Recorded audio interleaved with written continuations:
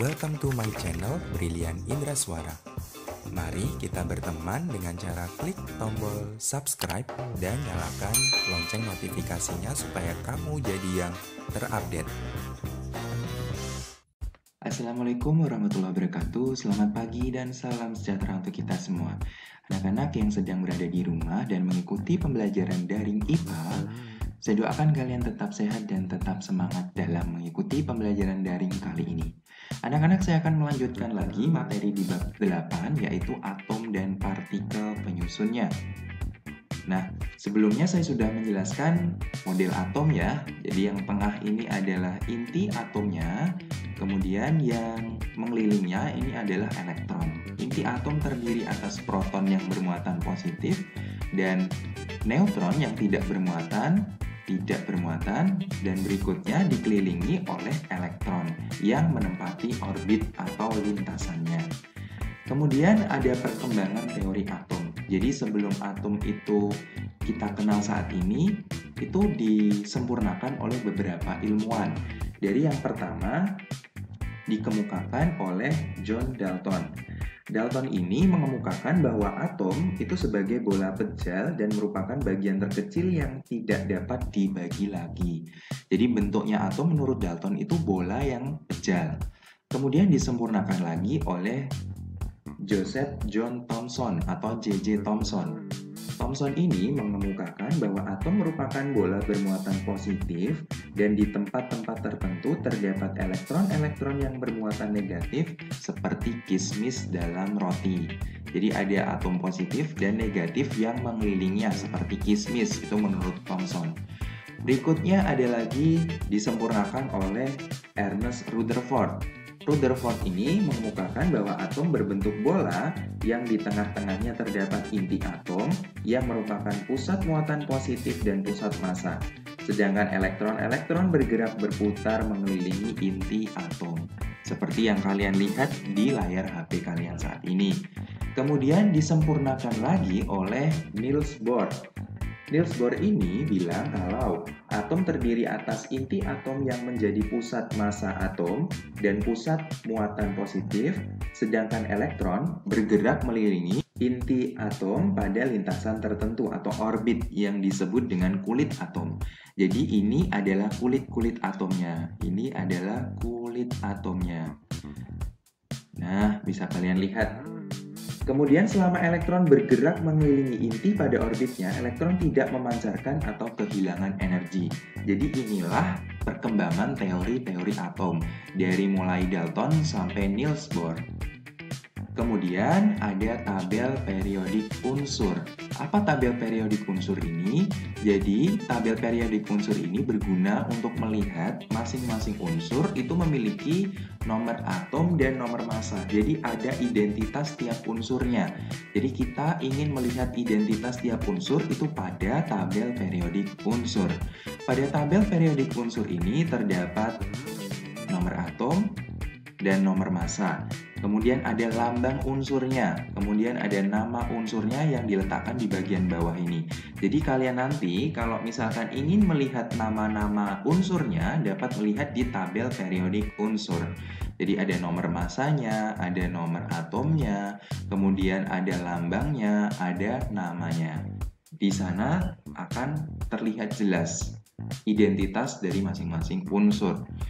Kemudian pada tabel periodik unsur itu ada cara untuk mencari proton, elektron maupun neutronnya dari tabel tadi.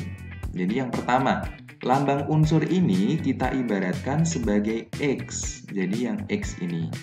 Kemudian nomor massa ini yang A. Jadi A ini. Kemudian 47 ini merupakan Z-nya atau nomor atom. Jadi dari uh, unsur tersebut dapat kita identifikasi bahwa X atau lambang unsurnya itu Ag, kemudian A-nya itu sebesar 108, kemudian Z-nya sebesar 47.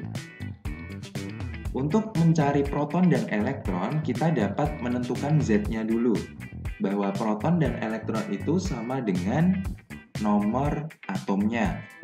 Sedangkan untuk mencari neutronnya, kita dapat menggunakan rumus yang ada di sebelahnya sini.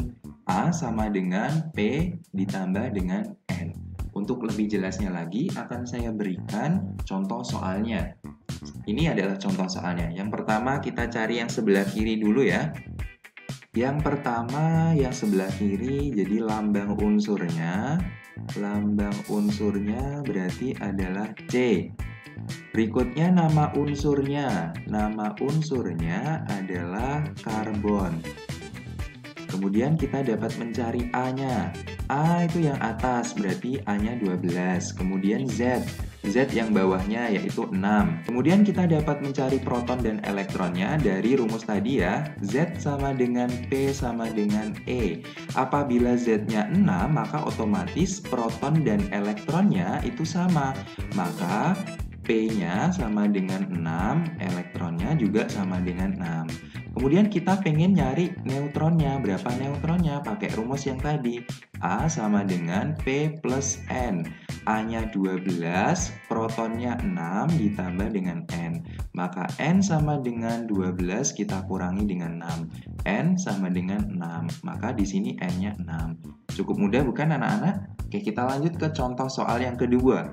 Contoh soal yang kedua, jadi lambang unsurnya, lambang unsurnya adalah Ga. Ga. Nama unsurnya, nama unsurnya yaitu gallium. Kemudian kita cari A-nya, A yang atas, jadi A-nya adalah 69, Z yang bawahnya yaitu 31.